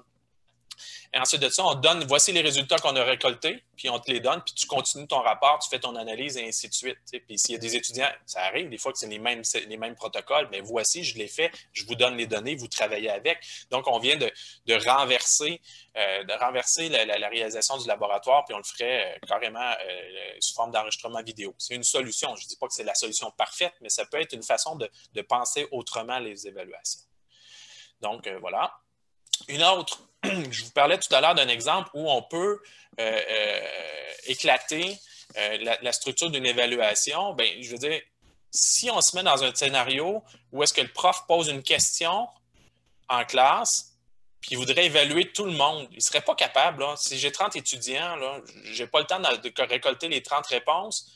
Euh, en 15-20 minutes ou une demi-heure. Puis encore là, il va peut-être avoir les mêmes réponses qui vont être données par les étudiants parce qu'il n'y a peut-être pas 30 réponses possibles aussi. Donc là, on peut s'en aller dans, dans, une optique d'utiliser un forum de discussion où est-ce qu'on peut poser une question, soumettre un cas, un problème. On demande aux étudiants d'aller chercher des éléments pour les, les mettre ensemble ou aller chercher des exemples d'une situation puis de les mettre ensemble. Fait que là, on enrichit. S'il y a 30 étudiants qui vont chercher 30 exemples de, je sais pas moi, d'un phénomène X ou Y, Z, puis ou une application euh, concrète d'un phénomène, puis ils les amènent ensemble, puis on dit, bien, tous ceux qui vont le faire, vous allez avoir deux points. Bien là, on vient c'est une première étape qu'on travaille, puis là, c'est beaucoup plus riche. Là. Mais ce qu'on pourrait faire après ça, c'est que dans un deuxième temps, c'est assez classique, on pourrait dire aux étudiants, regarde ce qui a été rapporté par les étudiants, regarde les réponses qui ont été apportées par tous les étudiants, et là, tu as à en choisir un certain nombre, puis à faire une synthèse de ce que tu as compris de ça ou comment on pourrait les organiser. Puis là, le petit bonhomme blanc, c'est l'enseignant qui peut faire une rétroaction sur ce qui a été remis par les étudiants. voyez-vous, au lieu de prendre une, période de, d'une heure, deux heures, trois heures, bien là, on a peut-être pris une semaine. Le, temps 1, le temps 2, ça peut être une semaine. Le temps 1, on vous pose la question, tout le monde fait le travail, puis au temps 2, la semaine d'après, vous déposez votre synthèse de ce qui on a joué autrement des variantes possibles. On pourrait avoir une modération, c'est-à-dire qu'on pourrait euh, demander à, ce que tous les étudiants déposent leur message sur le forum, mais ne voient pas les messages des autres jusqu'à un moment X. Je donne un exemple. Le lundi, je pose la question, puis le vendredi, le professeur passe, puis il rouvre les messages de tout le monde, puis là, tout le monde voit ce que les autres ont fait. ça se peut qu'il y ait des doublons, des triplons, et ainsi de suite. C'est pas grave. Mais là, à partir de ce qui quand les informations, tous les étudiants ont toutes les informations, peuvent faire leur résumé à remettre le lundi suivant. Vous voyez, on a élargi, on a joué dans le cadre temporel. Autre variante, bon, on pourrait avoir eu des écoutes ou des lectures à faire avant de poser les questions, les cas, les problèmes, puis de démarrer le partage. Donc, on pourrait jouer dans, dans ces eaux-là. Une autre possibilité, c'est qu'on demande aux étudiants, on a des grands groupes, on les regroupe en, regroupement de quatre ou cinq, ou on fait des sous-équipes et on garde les mêmes mécanismes. Une autre possibilité, euh, c'est que quand ils travaillent en équipe comme ça, ben, les équipes pourraient être leur travail, leur, mutualisation, leur, discussion serait privée, puis au, moment voulu, on rend public ces discussions-là. Voyez-vous, on joue avec le cadre, puis on, joue avec, est toujours avec un outil de forum, mais on a fait plusieurs scénarios possibles de, euh, de, jouer avec euh, des questions, des cas, des problèmes ou des partages. Euh, qu'est-ce qui est évalué là-dedans? Ben, ça peut être la synthèse, c'est-à-dire que où est-ce a la flèche rouge, c'est la synthèse personnelle ou la synthèse d'équipe qui aurait été faite. Fait que ça, ça pourrait être évalué sur 20% 30% L'autre possibilité, ça serait peut-être de dire on peut rajouter, euh, comme on a travaillé en équipe, on aurait pu avoir un, mécanisme de, vérification de la contribution au travail de l'équipe. Là, qu'on travaille sur le processus, est-ce que tout le monde a donné son idée, est-ce qu'on a respecté les autres, est-ce que blablabla, bon, voyez-vous, puis on peut combiner ces deux évaluations-là, avoir une note modulée comme M. Paré, avait la réponse qu'on a donnée à M. Paré. Une autre possibilité, c'est toujours la même logique. Prenez tous les exemples, les questions, les cas, je les ai regroupés sous la lettre Q. Mais là, on pourrait dire à la deuxième, première semaine, on pose la question et les étudiants à la deuxième semaine font leur synthèse. Mais déjà à la deuxième, deuxième semaine, on a un ensemble de nouvelles questions et on, on, échelonne, dans le temps comme ça des questions-réponses euh, au fil du temps dans les semaines. Et on, peut travailler avec ça. Les variantes sont toujours les mêmes. On peut avoir des modérations, du travail des lectures ou des écoutes préalables on peut travailler en équipe. On pourrait demander aussi, dans un deuxième temps, au lieu de faire une nouvelle question, on pourrait demander aux étudiants de réagir aux synthèses qui auraient été partagées par les étudiants. Donc, voici un rapport d'une équipe. Ah bon, ben, qu'est-ce que, est-ce que c'est bon, c'est mauvais? Est-ce qu'on fait, ça peut être simple, ça pourrait être corrigé sur trois, par exemple, je sais pas moi. Euh, est-ce que l'étudiant n'a rien fait? C'est zéro. Il n'y a pas de commentaire. Le premier commentaire, bravo, c'est très bien. Bien, ça, ça vaut juste un point parce que c'est assez minimal comme commentaire. Deuxième, tu aurais deux points si tu avais dit bravo, c'est très bien, ça illustre très bien telle notion dans le matériel du cours. Donc, tu as un deuxième point qui viendrait illustrer et qui, qui, fait, euh, force l'étudiant à faire un lien entre ce qu'il lit et ce qu'il a appris dans le cours. Puis tu pourrais avoir un troisième point qui pourrait être donné, c'est bravo, c'est très bien, ça illustre très bien ce qui est écrit dans le livre, puis ça illustre aussi un autre exemple qui vient de l'extérieur. Ça force l'étudiant à aller chercher du matériel supplémentaire pour faire un lien avec ce qu'il est en train de lire. Puis ça se corrige bien, là. Corriger 0, 1, 2, 3 pour un étudiant, corriger la critique ou les commentaires, ça se fait relativement bien comme ça. Donc, voyez-vous, puis bon, évidemment, les commentaires, la rétroaction pourrait être faite en équipe. On pourrait faire ça de façon cachée ou pas. Et on pourrait même s'amuser à changer les équipes au fil des semaines en faisant des tournantes, là, toutes les, stratégies qu'on peut faire, qu'on change les coéquipiers pour changer les équipes, changer les dynamiques à l'intérieur. Voyez-vous, on éclate le cadre, on est et tout ça se fait à distance. Là. Il n'y a pas personne qui se voit. S'ils veulent se parler entre eux, ils peuvent le faire en dehors, mais, on a joué autrement. Voilà j'ai répété la même chose, je m'excuse. Euh, qu'est-ce qu'on peut évaluer? on peut faire l'évaluation par les pairs. Donc, on pourrait demander à l'équipe au temps 2, aux équipes d'évaluer la synthèse qui été remise aux étudiants euh, qu'ils ont fait dans le temps 1. On peut faire aussi une contribution au travail d'équipe. Donc, on, se regarde dans le blanc des yeux, puis on fait un lavage de linge sale en famille, qu'on pourrait dire. Et on pourrait toujours, à certains moments, avoir des synthèses personnelles ou des synthèses d'équipe. On est toujours avec un outil de forum. Voilà, c'est quelques exemples comme ça. Il y en a plein d'autres. Il y a déjà l'autre webinaire dans J'enseigne à distance que j'en ai présenté quelques autres aussi. Mais voyez-vous, on peut jouer avec des outils courants. On peut travailler avec un blog, on peut travailler avec un wiki euh, et, ça permet d'avoir des évaluations beaucoup plus complexes, beaucoup plus euh, authentiques. Là, c'est ça, ça prend un peu d'imagination de la part du prof, mais de travailler de cette façon-là, euh, ça n'a pas besoin d'être révolutionnaire, mais ça nous permet d'évaluer autrement. Euh, je, regarde l'heure, je ne veux pas me tromper, il reste peu, de temps. Euh, est-ce qu'on a le temps de prendre une question ou deux encore, euh, messieurs, dames? Êtes-vous libre? Juste, juste peut-être arrêter la diapo pour qu'on se voit là, parce que... oui, oui, excuse. Oui, c'est mieux comme ça.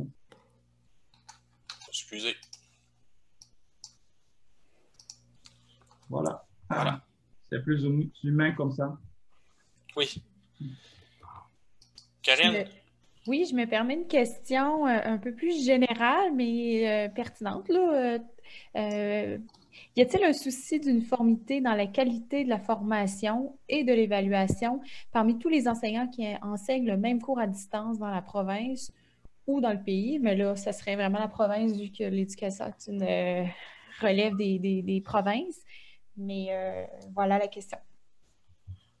Ben, la réponse est non. Puis Marie-Christine, la seule chose qui est différente, c'est que dans, au collégial, il y a des programmes cadres qui, je pense bien, sont définis par le ministère. Donc, ça définit ce, que les étudiants doivent apprendre ou les développements de compétences qu'ils doivent faire, euh, avoir dans, le cadre de leur cours. Au niveau universitaire, on n'est même pas proche de ça.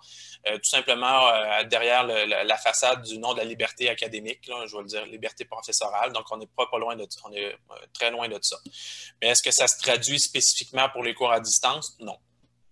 Y a pas, c'est pour le primaire secondaire, bien, au Québec, on, est, on, commence à peine à faire de la formation à distance, alors que dans d'autres provinces, ils en font déjà. Euh, fait qu'on est, il n'y en a pas plus non plus. Je suis désolé. C'est une recherche qui sera aussi à mener, hein, Serge? Oui, c'est une très, belle question, mais, est-ce qu'on devrait arriver à ça? Je pense que non. Je pense qu'il faut donner les outils aux gens, aux enseignants, puis être capable qu'ils trouvent trouvent leur aisance là-dedans, puis qu'ils soient à l'aise avec ça. Puis je veux dire, même au niveau universitaire, ça change tellement. On est dans, la production de connaissances, euh, ça, évolue tout le temps. Le temps que, des normes soient mises en place, c'est peut-être le rôle des, ordres professionnels dans les cas où il y a des ordres professionnels de définir un peu des profils de compétences vers quoi les programmes doivent tendre. Mais encore là, souvent, ces profils-là, il y a toujours une composante professionnelle de jugement, de critique. Puis, je veux on ne peut pas faire une somme de connaissances, c'est impossible. Effectivement, je suis, je suis d'accord avec toi, Serge, et j'ajouterais que euh, même si les normes sont les mêmes, il y a toujours un écart au niveau de l'analyse des pratiques, ça se voit très bien. Il y a toujours un écart entre le prescrit et le réel. C'est-à-dire, les pratiques évaluatives des professeurs et professeurs seront toujours des pratiques très personnalisées, ça sera toujours des pratiques individuelles. Donc, l'idée de l'uniformisation est, est, une idée peut-être intéressante, mais je pense que ça reste dans l'ordre de l'aspiration que dans l'ordre de, de, de, ce qui peut être fait réellement. Mmh, tout à fait. Je suis tout à fait d'accord. Une autre question? Oui, euh, je vais me permettre une dernière question, euh, vu le temps, euh, qui vient d'apparaître dans l'outil QR. Pour de l'éducation andragogique et non universitaire, est-ce que cela peut être bénéfique ou non de faire des évaluations? Ben, oui, euh, la première, mettons, on prend l'évaluation diagnostique, ça permet de voir aux gens s'ils connaissent des choses, si leur vécu, leur connaissance euh, ou leurs expériences antérieures, c'est hyper pertinent. Fait que là, on est dans l'évaluation diagnostique. Après ça, ensuite de ça, quand on leur propose un parcours d'apprentissage, un scénario d'apprentissage ou une évolution, ben, l'évaluation formative va être drôlement intéressante pour voir s'ils atteignent les cibles qu'ils se sont donnés ou qu'on leur a proposées. Puis ensuite de ça, bien, si on arrive à, une évaluation, que ce soit à la fin d'un programme ou d'un cours, d'un cours euh, le sommatif puis le certificatif va être très utile. toutes les formes d'évaluation. Puis il faut se rappeler qu'en formation à distance, le principal levier qui amène les étudiants vers la réussite, c'est la rétroaction. Et cette rétroaction-là, elle vient comment? Elle vient par l'encadrement fait par la personne, mais elle peut venir aussi du matériel et des processus d'évaluation. Donc là, on, mise sur le diagnostic, le, formatif, comme outil de rétroaction pour permettre aux étudiants de vérifier s'ils ont bien appris, s'ils sont sur la bonne voie, s'ils sont prêts pour leur évaluation sommative. Donc, on est dans cette logique-là, puis qui leur propose, regarde, c'est l'erreur que tu as fait, voici la section, le module qu'il faudrait que tu ailles revoir ou l'exercice qu'il faudrait que tu refasses, ou va, lire ça, ça va t'aider, ainsi de suite. Fait on est dans, dans la rétroaction là, qui vient là-dessus, que la rétroaction peut porter sur le produit, mais aussi sur le processus. Euh, ça peut être, euh, on peut aller même vers, des, enjeux méthodologiques, métacognitifs. on peut aller tout vers ça là, aussi. c'est le principal levier, c'est la rétroaction. Donc, dans un parcours andragogique, oui, et s'il est à distance, encore plus, oui, oui. Je vais le dire comme ça. Merci Serge. Alors, euh, il est 14h moins une. Je vais me permettre de, clore le, webinaire. Euh, donc, euh, malgré le fait qu'on aurait